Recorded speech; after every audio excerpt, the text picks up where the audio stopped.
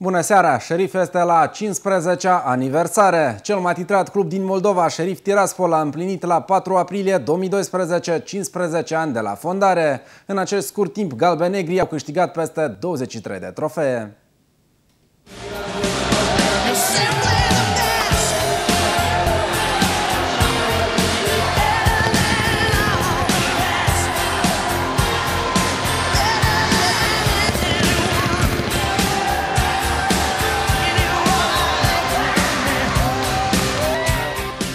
Șerif Tiraspol a fost fondat la 4 aprilie 1997. Pe parcursul a 15 ani, galbenegrii au câștigat 10 titluri, 7 cupe și 4 supercupe ale Moldovei. Șerif mai are în palmares două cupe CSI, dar și două participări în grupele Ligii Europa.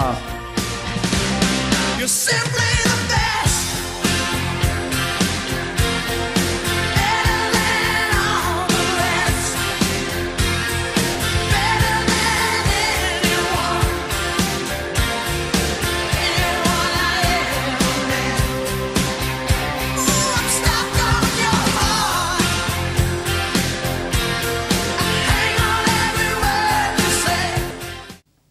Sportul moldovenesc este la înălțime. Zalina Marghiev a fost nominalizată pentru titlul atleta lunii martie în Europa, alături de alte 12 sportive, printre care și vedeta Elena Isimbaeva din Rusia.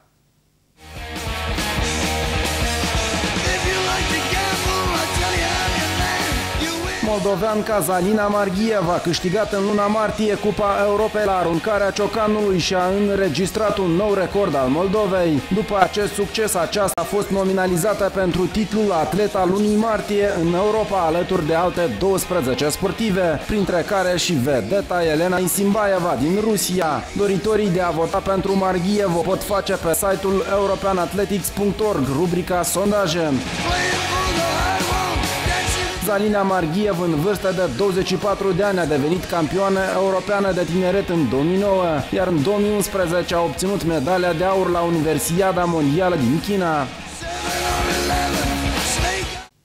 Barça a bătut pe AC Milan la penaltiuri prin Messi, care a reușit un nou record. FC Barcelona s-a impus acasă în fața lui AC Milan, scor 3 la 1 în returul sferturilor de finale ale Ligii Campionilor și s-a calificat în semifinale după ce în tur a remizat scor 0 la 0. Încep să înțeleg de ce Mourinho este supărat pe FC Barcelona. Nu poți da penalti când balonul nu e în joc. A tunat după meci Ibrahimovic, atacantul lui AC Milan. E imposibil să te califici de 5 ori consecutiv în semifinalele ligii cu ajutorul arbitrilor, a spus de partea cealaltă antrenorul catalanilor Guardiola. FC Barcelona a deschis scorul în minutul 11 prin Messi, care a marcat din penalti. 13 1-0. Давайте посмотрим футбол. AC Milan a egalat în minutul 32 prin Nocerino. Если будет гол, это будет интересно. 1-1. Это лучший бомбардир Милана Nocerino, удивительный футболист. Messi a reușit dubla în minutul 41 și a devenit cel mai bun marcator într-un sezon de Liga Campionilor cu 14 goluri, după ce a egalat recordul stabilit de fostul jucător al lui AC Milan Altafini în 1962-1963.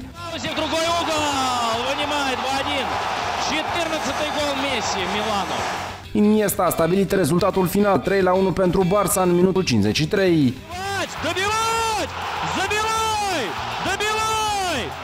Uh, crec que hem, hem merescut més que sobradament la, la classificació, estem molt, molt satisfets uh, amb 4. Clar, és que aquí els hi regalen tot allò, són 5 vegades ja que arribem a semifinals, 5. Sí, sí, el senyor Ibrahimovic diu que és gràcies als àrbitres i fer l'amic del senyor Mourinho, doncs molt bé, però són 5 vegades. Vull dir, clar, quan són cinc vegades és perquè agradaria molt d'esforç i molt, molt, molt de treball. I a l'hora de la veritat els jugadors ho parlen al camp. Che un... Ma mi sarebbe piaciuto ripartire il secondo tempo dall'1-1, era un momento in cui la partita l'avevamo in mano, stavamo soffrendo, la squadra ha fatto un, una buona partita, un'ottima partita, abbiamo sbagliato nei primi 10 minuti, poi abbiamo giocato discretamente bene. Però posso dire anche che capisco più Mourinho perché si incazza quando viene qua, che secondo me non è giusto. No, ma oggi siamo più arrabbiati per quello che è successo in campo, dai, se discute non si capisce capisce perché è successo, perché non dai rigore se il pallone neanche è in gioco. Mi sa, prima, vo prima volta che mi succede questo. Digamos, prácticamente no tuvieron oportunidades para, para marcar y bueno. Io dico che io l'ho tirato dopo che Pugliole con le mani mi ha fermato. La palla forse neanche era partita, lui ci ha fischiato rigore.